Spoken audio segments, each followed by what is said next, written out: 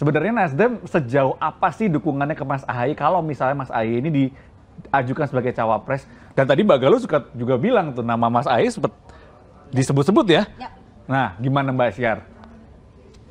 Ya kalau perkara kedekatan dengan Mas Ahaye ini kurang apa coba pertemuan Pak Surya dengan Mas Ahaye? Sangat dekat sekali kan? Jadi ya saya kira bukan berarti ketika tidak menyebut nama Mas Ahaye tidak eh, apa namanya ada sesuatu hal tidak tidak begitu penafsirannya. Jadi ya memang uh, penyebutan nama Kofifa dan segala macam itu ya namanya obrolan-obrolan santai ketua umum dengan kader-kadernya dengan pengurus-pengurus. Nah kalau Mas Ahaye ini kan udah dekat sekali baratnya sudah sering ketemu, sudah membahas hal-hal besar, hal-hal yang lebih besar lagi sudah dibahas bersama Mas Ahaye dan Pak Surya. Jadi ya saya yakin juga Mas Ahaye tidak kecil hati lah ya, tidak kecil hati sebagai calon negarawan tentunya bisa menyikapi uh, berbagai dinamika ini dan kemudian juga uh, udah satu hati satu kata begitu ya dengan kita sebagai partai koalisi. Jadi nggak ada yang perlu diragukan dan dipertanyakan Mas Jati. tapi kan walaupun misalnya ada kedekatan antara Pak SP dengan uh, Mas Ahaye, tapi juga belum tentu Pak SP juga akhirnya meridoi Mas Ahaye kan Mbak? Nah, nggak, nggak begitu kalimatnya. kan sekali bahwa Pak Surya menyerahkan sepenuhnya kepada Mas Anies, jangan dibolak-balik ini. Mas Zaki, jadi gimana nih? Kalau me me mendengarkan tadi Mas Adi, terus Mbak Galuh tadi bilang Mas Ahaye, wah kayaknya di atas apa di atas angin banget ya, Mas Ahaye, Mas Zaki happy?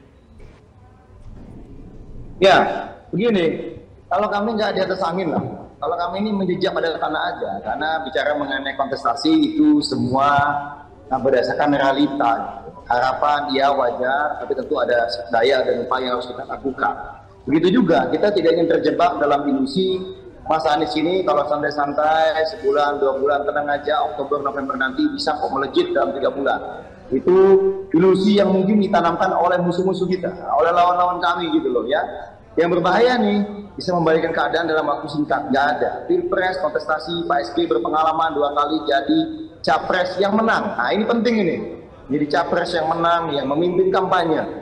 Dan itu semua menunjukkan tidak ada hitung-hitungan yang ajaib. Semuanya berproses, semuanya terukur dan sistematis. Nah sedikit saya ingin sampaikan, tadi dari Mas Adi sudah menyampaikan tadi ya, uh, mengenai apa yang disampaikan oleh uh, Bang Ahmad Ali gitu. Nah ini saya sampaikan ini, saya ada pernyataan, ini terbaru, baru saja kami kirimkan ke teman-teman media ya pertama mengenai apa yang disampaikan oleh Bang Adi Ari bahwa pernyataan Bang Adi Ari terkait evaluasi terhadap capres di bulan Juni itu didasari oleh kalkulasi dan keinginan uh, yang kuat dari Partai Demokrat agar capres Anies Baswedan tidak kehilangan momentum ya untuk memenangkan Pilpres 2024. Yang kedua, Demokrat tidak akan mundur ke belakang membicarakan nama cawapres karena proses penentuan cawapres itu sudah melewati berbagai macam tahapan selama kurang lebih empat bulan sejak pegang koalisi ditandatangani. Adapun terkait pilihan nama cawapres ini kami tegaskan kembali, Demokrat konsisten.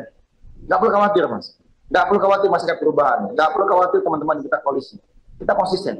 Keputusan itu ada di capres Anies Baswedan. Ya tentunya untuk masalah bakat cawapres, memang kami cermati di internal kami ada penyaringan juga yang kami berikan masukan ya. Uh, Mas nama nama Mas Ayi memiliki elektabilitas yang baik, tapi nama-nama lain pun uh, telah juga diperhitungkan oleh Demokrat. Bahkan Mas Ahaye sendiri nih, yang memerintahkan kepada Bang Andi Arief selaku kepala Bapil untuk memperhitungkan alternatif nama-nama lain mana nih cawapres-cawapres terbaik untuk Mas Anies dan tim kami Demokrat sudah memaparkan itu kepada tim capres atas permintaan tim capres, sebagaimana tim capres juga meminta masukan kepada tim Nasdem, meminta masukan kepada PKS. Nah, dalam paparan itu hadir nih ada tim capres, sekjen Partai Demokrat, sekretaris MTB, dan kepala Bapilu. Ya, silakan dikonfrontir nanti dengan tim capres. Benarkah bahwa nama yang dipaparkan dan diperhitungkan sebagai cawapres dari Demokrat itu tidak tunggal gitu. Ya, ada nama kami sebut ya. Satu ini Mas Ahaye. Kedua ada nama Mbak Hovifah. Ketiga ada nama Mas Sandiaga Uno. Keempat ada nama Yeni Wahid. Kelima ada nama Andika Perkasa. Keenam ada Ahmad Heriawan, Pak Ahmad Saiku.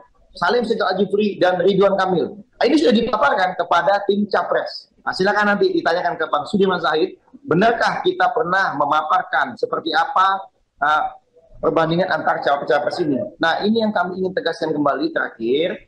Uh, Demokrat tidak pernah memaksakan Mas Ahy sebagai bacawa pres Anies Baswedan. Silakan ditanyakan kepada capres Anies Baswedan, ketua umum Partai Nasdem dan ketua umum PKS. Bahkan Partai Demokrat juga sudah setuju untuk menyerahkan keputusan cawapres kepada capres sesuai dengan pegang koalisi. Nah, ini kami udah buka nih terang benderang. Ya, kami pernah mengajukan dan memaparkan seperti apa kira-kira kalau misalnya Mas Anies dengan si A, si B, dan si C. Nama-nama tadi sudah kami sebut. Nah, silakan. Jadi nggak pernah itu ada kisah Demokrat AHY, AHY, AHY. Enggak itu.